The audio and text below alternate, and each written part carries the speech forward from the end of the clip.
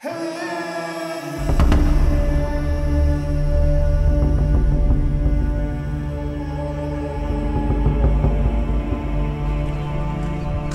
en realidad secaron todo. si te das cuenta ahora cuando venimos aparte del charal, nosotros hicimos aquí hacer un cultivo de tequesquite y teníamos las condiciones adecuadas del agua. Sí, aquí va el caño donde nosotros metíamos el agua. De hecho, nos habíamos acercado con gente de Conan para decirle de lo que, lo que pretendíamos y de la cosecha que, estábamos haciendo acá. Eh, no sé, de pronto cuando empezaron con los trabajos de sus bordos, empezaron a atajar el agua y hoy tristemente te das cuenta de que secaron todo. Entonces, si ellos hablan de decir que quieren recuperar la flora y fauna de aquí del área, pues yo diría yo que ellos mismos las están echando a perder, ¿sí? Porque al secar, imagínate cuántas aves ya tuvieron que haber cambiado de residencia porque ya no los dejaron anidar. Y si a eso le unimos que aquí entra gente que viene a hacer desastres, te darás cuenta toda la, la quemazón que hicieron. Mira, Aquí fue un trabajo, una inversión que hicimos para poder hacer el tequesquite. Aquí están las melgas o tablones, aquí están lo de los caños donde al principio pudimos ver metido el agua. Tristemente ellos al hacer sus, sus bordos secaron todo y si te das cuenta, mira, no pudimos ver levantado nada. Nada, sí fue un trabajo echado a perder. Si te das cuenta por acá también las charcas totalmente secas. Ahorita estamos trabajando, estamos haciendo una limpieza de quitar todos los tulares para que se amplíe más. Muchas ocasiones yo les había yo comentado también que aquí había un, pues, un criadero de charal, lo cual a hoy si te das cuenta, pues ya acabaron con, con el charal que había. Yo creo que ya debe haber ido tú a dar una vueltecita a la ciénega, que también está a un 40%, a un 30% de su capacidad de agua. ¿Por qué? Porque los trabajos que hicieron ahí atrás de los bordos no permite tener flujo al agua y, pues, ya se secó todo esto. Pues costó mucho trabajo hacer todo esto tener un cultivo de charal. Y que hoy ves que ya no cuentas con nada de eso pues qué puede uno hacer nada ya. Si ellos son las autoridades ellos son los que mandan. Y pues mira se ve tristemente todo esto que ya ya lo secaron y pues ellos mismos son los que originan caiga este tipo de incendios Ahorita, si gustas, vamos allá para que veas el trabajo que se está haciendo. Pues yo no le encuentro caso, ¿sí? Nada, nada le encuentro de caso, porque esto a final de cuentas tuvo que haber tenido agua, ¿sí? Para poder, este lirio, bueno, o sea, esta palma vuelve a retoñar, ¿sí? Van a ser de vuelta. ¿Qué se necesita para que ya no, no nazca? Cortarla al ras de suelo, ¿sí? Y que tenga agua. Claro. Para que ya le, le, le quite la oxigenación. A mí me sorprende mucho porque justamente hace un año, un poquito más, un año, un mes, estuvimos aquí grabando lo que era el charal, ¿no? Sí. Y ahorita pues prácticamente pues está totalmente diferente a como estaba hace un año, ¿no? Es, es lo que yo, la pregunta que te hacía yo, ¿no? O el comentario que hace uno. Si las áreas naturales protegidas por medio de su directora quieren la conservación de todo esto, ellos mismos están haciendo que todo esto muera, ¿sí? están acabando con mucha, te digo, mucha flora, mucha fauna que había acá, ya terminaron con ella. Y si a eso le unimos, te digo, la quemazón que hubo, pues peor tantito, ¿sí? Entonces como que estas autoridades para mí, pues como que en realidad dejan mucho que desear. Te digo, sus trabajos que hicieron, ahí están sus trabajos del el ingeniero se llama Daniel Fonseca, que fue el que hizo todo el proyecto de los bordos y pues para qué le sirvió hicieron unos vertederos que en realidad como ingeniero deja mucho que desear porque ni siquiera se fijó en los, en los niveles del agua para que fluya el agua, para que tenga un buen flujo. Y te digo, ahí tenemos la ciénega como un 30% de su capacidad. Sí, es lo que veo que mucha del agua se está quedando en los bordos. Ahí se queda. Ahí se está quedando. Sí, porque no tiene paso. Entonces lo que se necesita es romper esos bordos, meter unos tubos más abajo y que el agua tenga un flujo para que pueda alimentar estas partes de acá. Y te digo, desgraciadamente se ve triste, ¿no? Que mejor uno como campesino te des cuenta de qué es lo que hace falta y él como ingeniero no haya tenido la capacidad y haya secado todo esto. Aquí está. ¿Ellos tuvieron algún acercamiento con usted o con los que, las personas que trabajan aquí para hacer los trabajos, los bordos? ¿Les comentaron qué es lo que iban a realizar? Nunca, nunca. Nomás a lo que se enfocó siempre el ingeniero, el, este que te digo, el Daniel Fonseca, fue cuando hicimos los bordos a pala, que después, bueno, dice, según su comentario que después hizo él, que nada más era un simulacro de bordo para ver que si iban a poder atajar el agua y después poder echar material y hacerlo en la forma que como lo hicieron ya ahorita, ¿no? Eh, ves tantísimos bordos, por decir así, allá hicieron otro en la parte del caracol, da vuelta, atraviesa otro ahí, y te digo, lo tristemente lo ves y dices, ah, caray,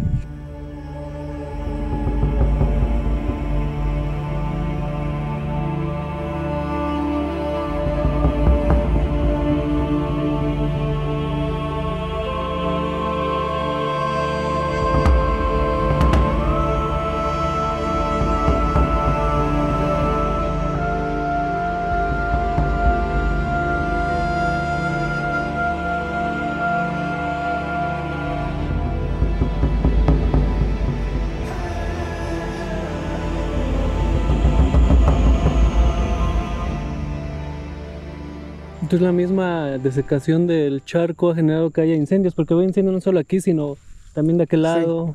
Sí, es que también parte del agua que ya la desviaron para el caracol. Sí, mm. hay una tubería que atraviesa por el salado y que entra al caracol y estaban echando el agua de la termoeléctrica para allá.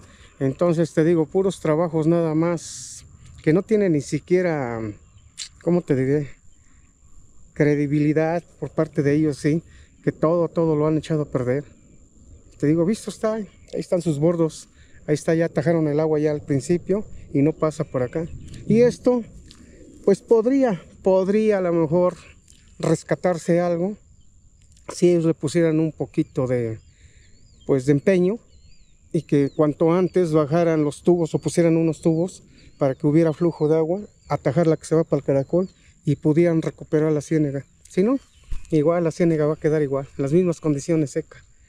Y yo no sé cómo puede ser posible que autoridades que están arriba de ellos, ¿sí? por ejemplo, los de Semarnap, que vinieron, estuvieron checando lo de la ciénega y hablan y hablan de la ciénega y que no se den cuenta en qué condiciones la tienen ahorita estas personas. En este caso el agua está tajada de aquel lado. ¿Ustedes podrían ir a trabajar allá? O no son las condiciones mismas que hay aquí las que hay allá. Allá no se desarrolla a lo mejor el mosco, el charal. Ah, no, no, no se va a desarrollar por las condiciones del agua, ¿sí? Si tú te das cuenta, de, desde cuando entra el agua al principio, viene pasando por un proceso de limpieza, que es por los tulares, el pasto, y eso la va limpiando. Y cuando llega a la ciénega, ya llega, ya llega limpia el agua.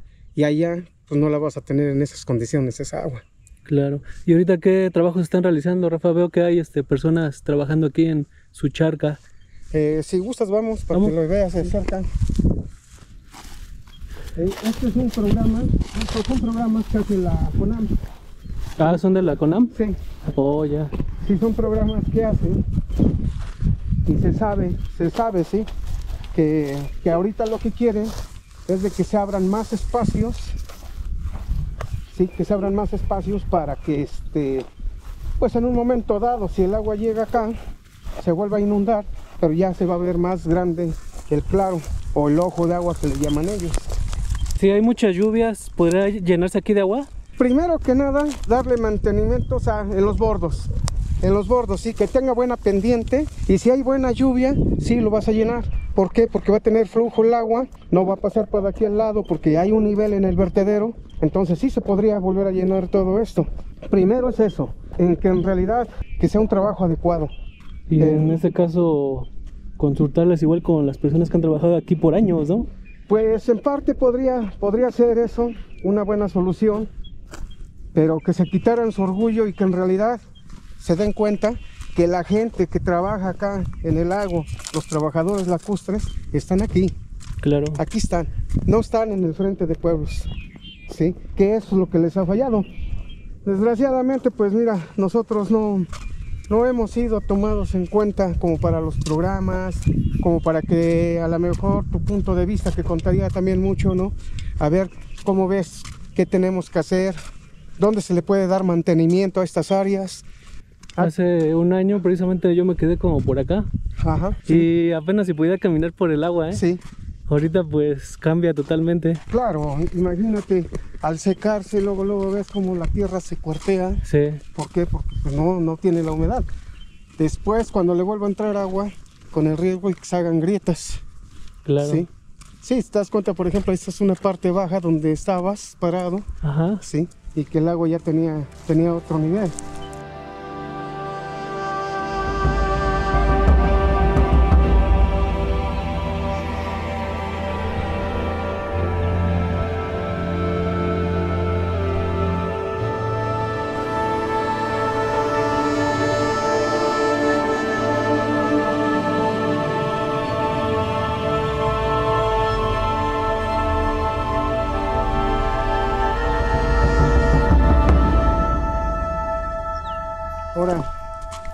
Te digo aquí, se les dijo desde un principio que tenía que dársele mantenimiento a estos ojos de agua.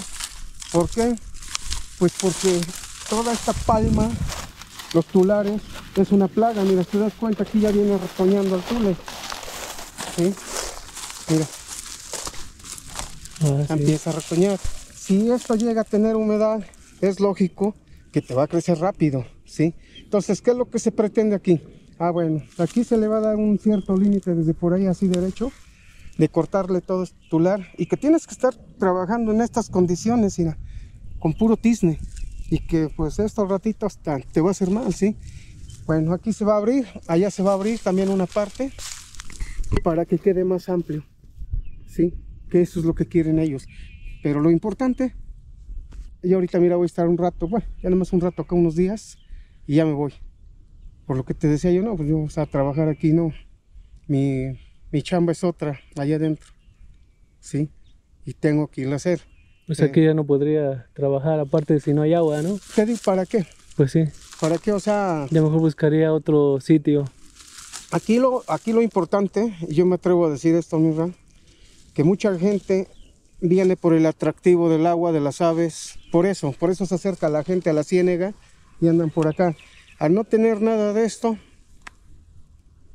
yo invité a unas personas ahora que fui a la conferencia, yo le decía yo a unas personas, porque había unos ambientalistas, pero si todos ustedes se juntaran por un buen beneficio, para que de veras se rescate, porque pues el programa sí dice, ¿no? Rescate del lago de Texcoco. Si ustedes lo hicieran de juntarse y, y, pues no sé, meter una queja con el gobierno federal, sería lo más idóneo para poder rescatar la ciénega. Si no, de lo contrario, pues como que no ahora, una a la otra. Hay personas que, que vienen de Tocuila, otras personas de por la Magdalena, que les llaman que los guardianes del lago. Pues yo, yo me atrevo a decir guardianes de qué. Pues también los, los tienen nomás a lo tonto. Tenían una brigada también para contra incendios. ¿Dónde está la brigada? Sí. Ahora, gente conocedora, gente que es de aquí cerca de, de Iztapan, de Santa Rosa, y que por todo esto que perteneció a la localidad, son los que merecen. Por ejemplo, mira, tenemos jóvenes aquí, que en realidad sí son los que merecen tener un empleo acá y de planta, ¿sí? Que no nada más te engañen cada año, porque esta chamba es cada año y tres meses nada más. Pero aquí están las condiciones en las que debes de trabajar, que claro, las aceptamos nosotros, ¿sí? Las estamos aceptando, pero no debería de ser esto, ¿sí? Debería de ser otra la situación de la chamba. Claro. Y por ejemplo, el charal, ahorita supongo que está en las zonas donde hay agua, corre algún riesgo. No, pues lógico, lógico. Mira, a mí me costó mucho trabajo el ver hecho un cultivo de charal acá. El estar trayendo charales en mi cubeta y estarlos echándolos aquí hasta que poco a poco se fue reproduciendo, se fue reproduciendo y se hizo. Vuelvo a lo mismo, con tristeza ves que lo mataron, porque lo mataron. ¿Sí? Al hacer sus trabajos, esos ellos no se dieron cuenta en qué se iban a en qué iban a perjudicar al medio ambiente. Porque ni siquiera se dan cuenta. Al secar todo, esto es de agua, esta, esta hierba. Esta hierba necesita estar en el agua para que pueda, este, pueda darse vida así. Si no, lo secas y mira, se seca todo. Esto más o menos en dos meses ya estaba seco. Era refugio de los tordos que hay acá. Y de miles de tordos, ¿sí?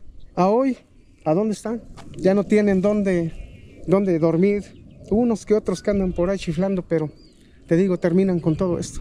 La verdad sí es triste, Rafa. Y varias personas me han comentado que se ve triste que no hay agua, porque era pues como lo más visible y más atractivo que había por acá, ¿no?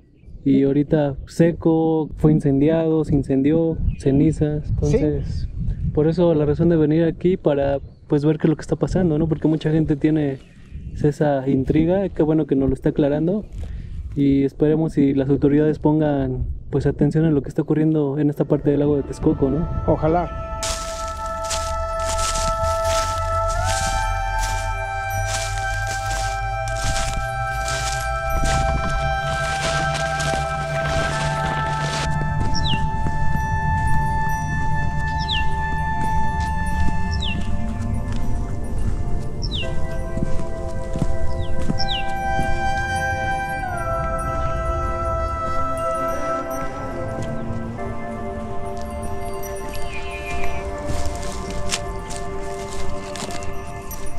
Que tienes la facilidad o que personas que te consultan, lo más, lo más padre sería que le, que le hicieran una entrevista a la directora. Claro, a ver qué opina, ¿no? Y qué es lo que está pasando. A lo mejor ya nos podría dar otra respuesta o decirnos bien qué, qué plan tiene o por qué está haciendo esto, ¿no? Pues esto yo, para mí, en lo personal, pienso que ya no es un plan. No, pareciera que fue, pues no planeado. La verdad, ¿eh? O sea, no fue planeado. Te digo, yo, yo que no conozco, me doy cuenta de la realidad, ¿sí? Que si son áreas naturales protegidas, que si es algo que tienes que conservar los ojos de agua, que tienes que dar flujo el agua, tratar de, de dejarlo más o menos a como estaba. Tristemente, mira, se le salió de las manos, hicieron todo esto. Aquí es a donde te digo, mira, qué trabajo tan absurdo. Yo no sé nada de todo esto, no nada más me doy una imaginación. Si el agua aquí apenas alcanzaba, mm, ¿qué te diré? A subir los 20 centímetros, ¿sí? Ahora, chécale aquí. ¿Tú crees que en este vertedero va a llegar a ese nivel para que el agua brinque para acá? ¿O de acá al revés para acá? Nunca. ¿Verdad? Nunca lo va a cruzar. Entonces, ¿como qué chiste tiene este trabajo? Aquí es a donde nosotros quisiéramos que viniera un medio de información para que grabara todo esto y que lo diera a conocer al presidente y que le diga, mira, esa es tu gente que tienes trabajando. Digo, yo soy un campesino y nada más estudié la pura primaria. A mí me ha enseñado el trabajo a conocer acá. Y cuando tú ves estos trabajos ridículos, porque yo no le encuentro ningún chiste todo el gordo que hicieron, que está alrededor hasta donde fuimos, ¿sí? Y puro dinero tirado a la basura. Y se dan el lujo de decir gastamos tantos de millones de pesos